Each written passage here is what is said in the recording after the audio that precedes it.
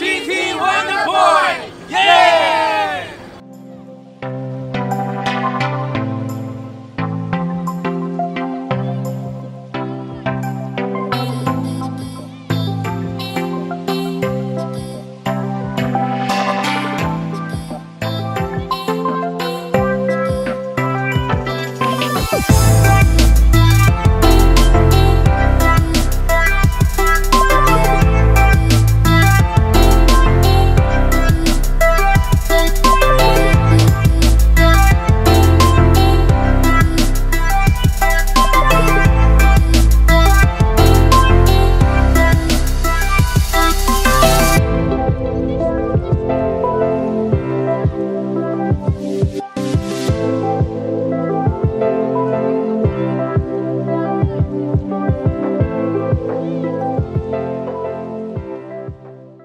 在昨天的节目当中呢，我们给大家展示了2017年世界机器人大会的一些精彩画面，各种人工智能呢是大放异彩。那今天我们每日新闻记者呢就专程赶到了这个展区的现场。那下面呢就请跟随我们记者的镜头，一起去近距离的感受一下科技带来的震撼。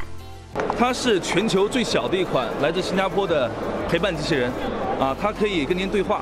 如果孩子的话，他可以当他的老师，可以他的玩伴。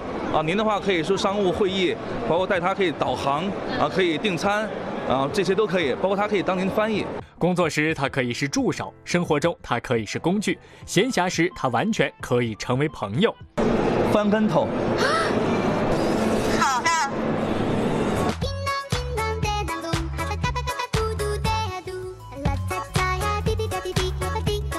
你真棒！你这样说，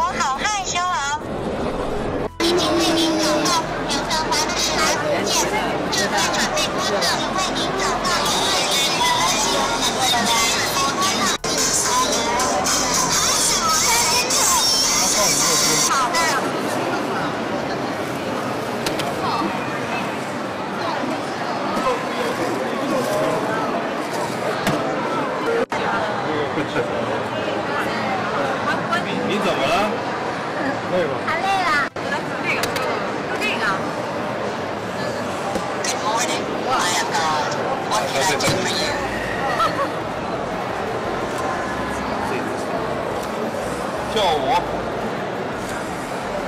好、